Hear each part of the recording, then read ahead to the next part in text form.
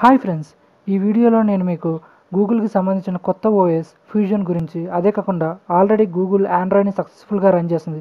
కానీ మళ్ళీ ఈ కొత్త ఓఎస్ మీద ఎందుకు వర్కౌట్ చేస్తుంది అనడానికి ఆన్సర్స్ ఈ వీడియోలో నేను మీకు క్లియర్గా చెప్తాను. మరి ఇంకెందుకు కలిసాం welcome to my channel Telugu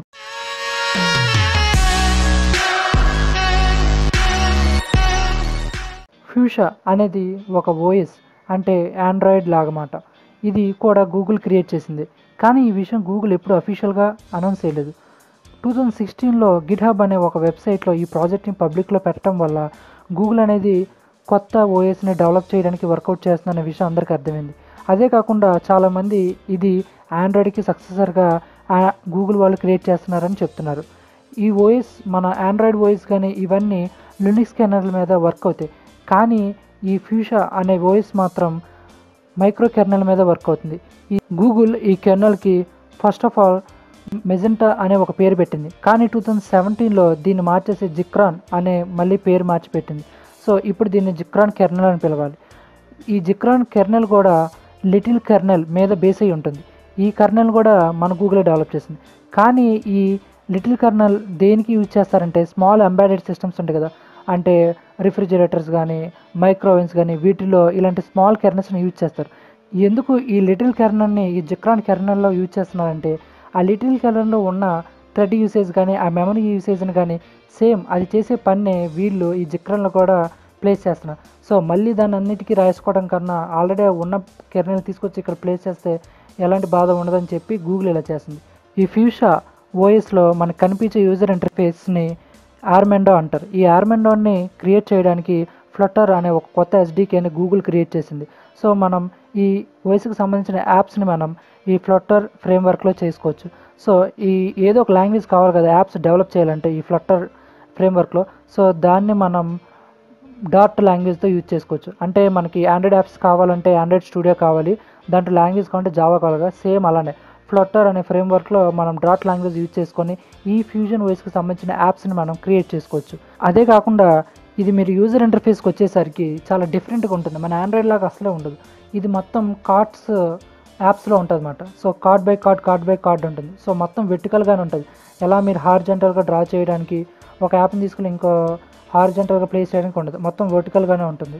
ఇప్పుడు ఈ ఫ్యూజన్ ఓఎస్ ఎలా వర్క్ అవుతుందో నేను మీకు ఒక డెమో చూపిస్తాను. సో ఇదే మీరు ఈ ఓఎస్ని ఇన్స్టాల్ చేస్తే ఇలానే ఉంటుంది. సో మన ఆండ్రాయిడ్లో కాదు కొంచెం డిఫరెంట్ కొంచెం చూసారా? సో ఇక్కడ డైరెక్ట్గానే మీకు మీ ఎవరైతే లాగిన్ అవుతారో లాగిన్ డీటెయిల్స్ ఇక్కడ కనిపిస్తుంటే మీరు కనుక ఇది ప్రెస్ చేస్తే మీకు బ్యాటరీ యూసేజ్ కానీ లేకపోతే బ్రైట్నెస్ కానీ ఆ లెవెల్స్ అని ఇక్కడ చూపిస్తుంటాయి. ఇక్కడ చూసారు కదా ఇక్కడ చాలా ఉన్నాయి. యూఎస్వి యూఎస్వి అని కార్డ్స్ కార్డ్స్గా ఉన్నాయి. సో ఇవన్నీ యాప్స్ మాట. ఇక్కడ మీరు ఫేస్బుక్ లేకపోతే వేరే వేరే యాప్స్ అన్ని ఇన్స్టాల్ చేస్తే ఇక్కడికి one by one one by one వర్టికల్గా వస్తుంది ఇదే కాకుండా మీరు ఒకేసారి మల్టీటాస్కింగ్ చేయాలంటే జస్ట్ మీరు ఆ యాప్ని గట్టిగా డ్రాక్ చేసి మీరు ఏ యాప్ కావాలనుకుంటే ఆ యాప్ పక్కన పెడితే రెండు పక్క పక్కనే వస్తాయి అన్నమాట. ఇప్పుడు ఇది హార్జెంటల్గా వస్తాయి. బట్ మీ లేఅవుట్ చూస్తే ఇది లీనియర్గానే ఉంటుంది. ఇదే కాకుండా ఇక్కడ గూగుల్ అసిస్టెంట్ కూడా ఉంది మీకు. మీకు కావాలంటే యూజ్ చేసుకోవచ్చు. But two thousand seven two thousand నైన్టీన్లో కానీ టూ థౌజండ్ ట్వంటీలో కానీ ఈ ఓఎస్ అందరికీ అందుబాటులోకి వస్తుంది.